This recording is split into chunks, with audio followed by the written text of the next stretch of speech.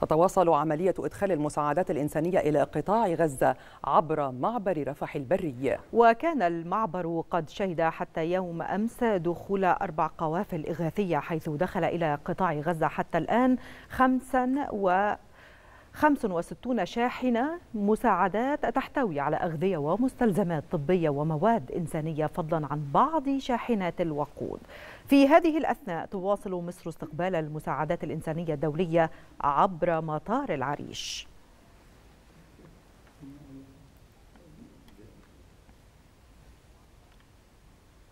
وللمزيد معنا من العريش مراسل التلفزيون المصري كريم بيبرس. كريم بعد التحية تتواصل المساعدات الإنسانية دوليا وإقليميا ومن منظمات دولية أيضا ومن دول عربية وغربية لإغاثة المصابون والجرحى والشهداء وما يحدث أيضا في غزة بعد انقطاع الكهرباء ونقص الإمدادات سواء كانت الإمدادات الطبية أو الأغذية. كيف ترى الوضع الآن؟ وكم عدد الشاحنات التي وصلت وصلت حتى الآن.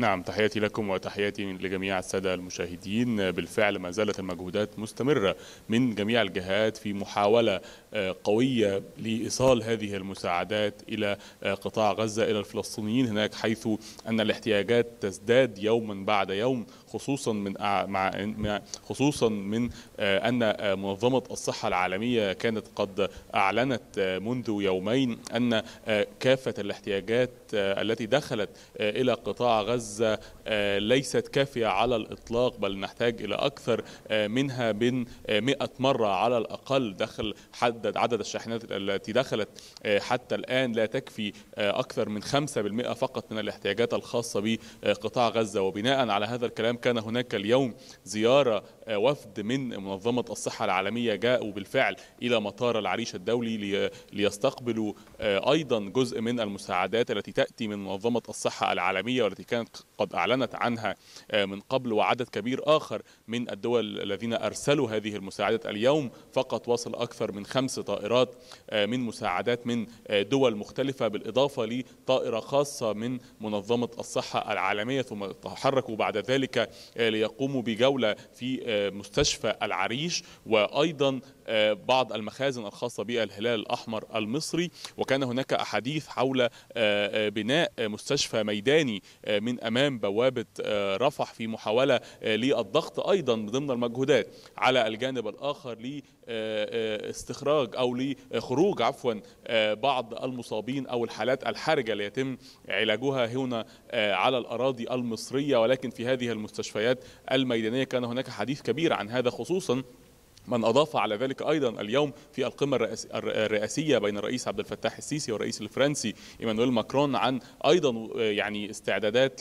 لوصول طائرة غدا فرنسية بالإضافة لسفينة عبارة عن مستشفى ميداني ستصل أيضا لي في محاولة لتخفيف وطأة الضغط الكبير على المستشفيات في قطاع غزة. كان هناك تصريحات هامة اليوم عن 35 مستشفى في قطاع غزة. بشكل عام 12 مستشفى من هذه المستشفيات توقفت تماما عن العمل وهناك بعض المستشفيات التي على وشك أن ينتهي منها الوقود تماما وستقف بعد ذلك أكثر. لذلك الحالة هناك صعبة جدا يعني القصف من قوات الاحتلال ما زال يستمر خصوصا كلما هنا نحن نسمع في رفح والعريش. أنا الآن في العريش ولكن على مدار اليوم نسمع في رفح والعريش القصف العنيف من قوات الاحتلال الذي لا يتوقف. وكلما دخلت المساعدات هذا لاحظناه على مدار الأيام السابقة كلما دخلت المساعدات إلى الجانب الفلسطيني كلما اشتد القصف أكثر على الأراضي الفلسطينية والأراضي. وفي قطاع غزة تحديدا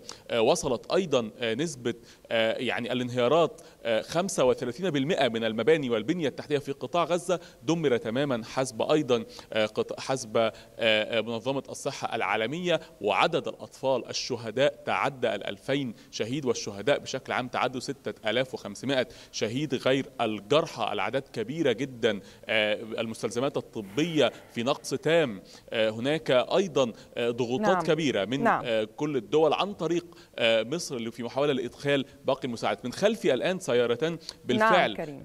للإسعاف وصلت من المساعدات من إحدى الدول الشقيقة هذه السيارتان يعني أيضا تتحرك لمعبر رفح على أمل في يوم من الأيام أن تدخل هذه الإصابات أو الحالات الحرجة ليتم إسعافها بهذه السيارات من خلفي وهي جزء من عدد كبير أيضا من المستلزمات الطبية والسيارات والكوادر الطبية التي وصلت لمطار العريش. نعم جزيل الشكر لك مراسل التلفزيون المصري كريم بيبرس.